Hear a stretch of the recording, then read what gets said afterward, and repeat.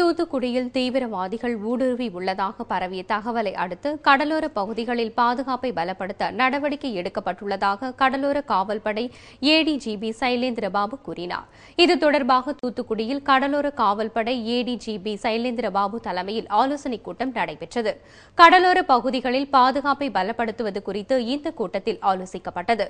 கூட்டத்திற்கு பின்னர் செய்தியாளர்களிடம் பேசிய அவர் தமிழ்நாடு கடலோர குழுமத்திற்கு கூடுதலாக முப்பது காவல் நிலையங்களை அமைக்க தமிழக அரசு அனுமதி வழங்கியுள்ளதாகவும் சென்னை முதல் கன்னியாகுமரி வரை நானூறு கிலோமீட்டருக்கு ஒரு காவல் நிலையம் அமைய உள்ளதாகவும் தெரிவித்தார்.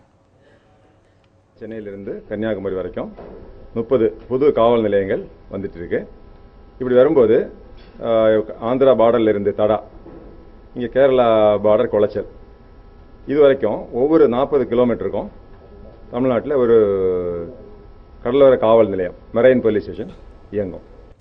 மேலும் பத்தொன்பது மீட்டர் நீளமுள்ள ஐம்பத்தி ஐந்து கிலோமீட்டர் வேகம் செல்லும் இருபது படகுகள் வர உள்ளதாகவும் சைலேந்திரபாபு கூறினார்.